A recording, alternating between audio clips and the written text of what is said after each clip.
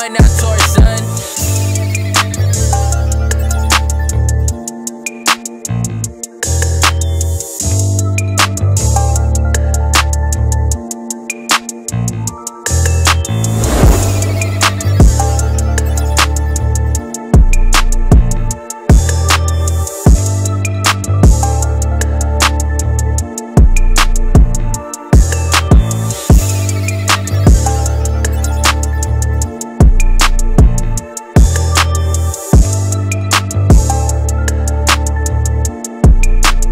moi, that's all